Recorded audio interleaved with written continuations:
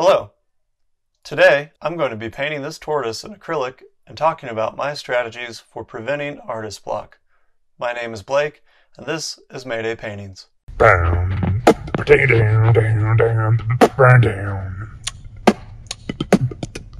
Here's the colors I used to make this painting. And here's how they look on the palette. This palette paper is served for a few paintings, so it's pretty messy. For brushes, nothing fancy, just a few cheap synthetic rounds and flats. I'm going to use a silhouette technique to paint this tortoise. I am starting with a dark, in this case, raw umber, to draw and fill in the shape of the tortoise. Then paint the lighter areas and details on the top of the dark. This should speed up the painting and unify things more easily since there is a lot of shadow and wrinkles on the tortoise's body. This is a technique that works really well with acrylics since the paint dries quickly. I chose this image to paint by using one of the strategies that helps me to avoid artist block. Artist block isn't something that I often struggle with. It isn't that I don't have times when I don't feel like drawing or painting. Those times definitely happen, but I am prepared for them. There are two quotes that I keep in mind whenever it's time to paint, but I don't feel like it, or I don't feel like I have a good enough idea. The first one comes from Pablo Picasso Inspiration exists, but it has to find you working. And the second one is from Chuck Close Inspiration is for amateurs. The rest of us just show up and get to work. There's more to that quote, but that's the part I readily remember. I don't remember where, but I recently heard someone say that if they don't feel like drawing, they make a deal with themselves that they only have to draw for five minutes. Of course, after five minutes, they are fully engaged in drawing, so they continue on. It's starting that is the hard part. The trick is to get starting out of the way so that you can get on with your art. For me, getting started usually just means picking something and getting to it. It doesn't have to be the best or greatest idea I've ever had, just something that I can get going on. The most effective way to find something to get going on is to surround yourself with things that inspire you, things that make you curious. I have a good sized collection of artist books, and if I need direction, I will pull one off the shelf and look through it. A straightforward thing to do is to make a study of a work by an artist you love. Try to get into their head and learn by copying their technique or composition. This can put your mind into motion and lead to work that is based on similar ideas. I have a Hokusai book that I probably paid $15 for that has inspired dozens of paintings that don't necessarily look like Hokusai, but are continuations on his ideas of what to paint and use his beautiful color palette. Beyond art books, it's also helpful to just have books full of interesting pictures. A constant source of inspiration is a few Time Life nature books I bought at a thrift store.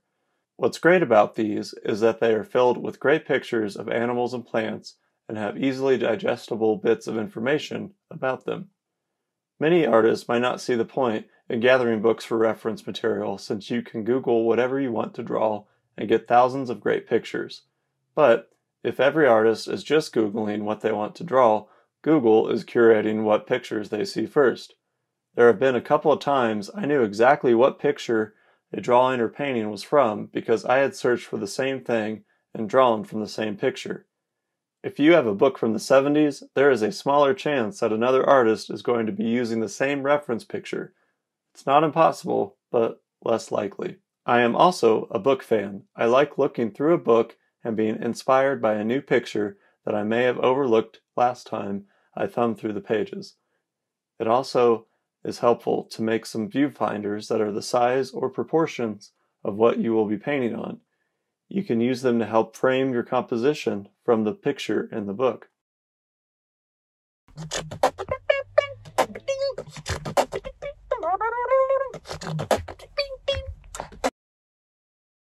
Another habit I've developed that helps me prepare to defeat artist block is taking my own pictures of things I find interesting out in the world. It's really amazing that we now all have phones with great cameras on them, and we usually are carrying them with us all the time. I take a lot of landscape and nature pictures when I am walking my dog, which I will paint from if I don't know what to paint. Sometimes I'll just look through my phone and put a whole lot of potential painting pictures on the computer I use to paint from. So if I need an idea, I have some ready to go. Sometimes, even just having leftover paint will guide me to what to paint next. For the tortoise I'm painting, I had a bunch of brown, yellow, and greens in my palette left over from the previous painting. I don't like to waste paint, so I just pick up one of my nature books and look for something I could paint with those colors. Sometimes I'll also just scrape all of the leftover paint together in a pile and use it for the background of my next painting, or as a color to mix in with white and a darker color. Reusing paint like this is a fun way to connect paintings to each other. I'll have two or three paintings in similar colors because I use the same palette leftovers. Another strategy I use is starting a new painting at the end of the day. If I finish a painting and still have a couple hours left to work, I'll get the next one started. Before quitting, I'll decide what I'm painting and put down a rough sketch or the first layer of paint so that when I come in the next day, I already have something going and can get right to it. Again, a critical step in defeating artist block is removing obstacles to starting. I hope these ideas help. Don't overthink it, just get some art made. Even if your idea isn't mind blowing, working on it could lead to an idea that is. At the very least, you will be practicing your skills for when inspiration gives you the big idea for your one true masterpiece or whatever. One more quote for you Success occurs when opportunity meets preparation. According to the internet, Zig Ziglar said that. He was a motivational speaker and self help book writer, so it seems fitting for the topic.